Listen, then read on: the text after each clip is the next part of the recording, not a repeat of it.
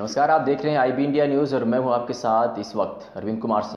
कौशाम्बी ज़िले में आरटीओ शंकर जी के गार्ड की सयाम गुंडागर्दी का एक वीडियो वायरल हुआ है। बता दें कि वाहन चेकिंग के दौरान आरटीओ की मौजूदगी में गार्ड वाहन चालकों से अवैध वसूली कर रहा था। आरटीओ के गार्ड की सरेआम गुंडागर्दी का वीडियो सराय अकील थाना क्षेत्र के कुंडरावी चढ़ाए का है, जहाँ ट्रैक्टर चालक ने अवैध वसूल का विरोध जताया। तो आईआरटीओ के गार्ड ने ट्रैक्टर चालक के गले में गमछा डालकर कस दिया और उसके बाद उसे बेरहमी से मार पीटा। इतना ही नहीं गार्ड ने ट्रैक्टर चालक से जबरन पैसा भी छीन लिया। अवैध वसूली का यह खेल एआरटीओ की मौजूदगी में हो रहा था। ट्रैक्टर चालक का हाथ जोड़कर गार्ड की गुंडागर्दी की शिकायत एआरटीओ से बताया, लेकिन एआरटीओ साहब तो अपने गार्ड की ही पीठ थथवा रहे थे।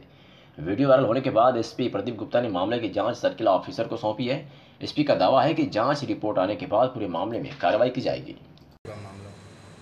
एक वीडियो वायरल हुआ है, वो किसका है, कौन सिपाही है किस विभाग का है, इसकी जाँच कराई जाएगी। और एक ड्राइवर को पकड़े कुछ गाली गलौज कर रहा है। किस परिप्रेक्ष्य में ये हुआ है? इसकी एक रिपोर्ट संबंधित क्षेत्र अधिकारी से मांगी गई है और जब रिपोर्ट आएगी तो उस हिसाब से कार्रवाई की जाएगी।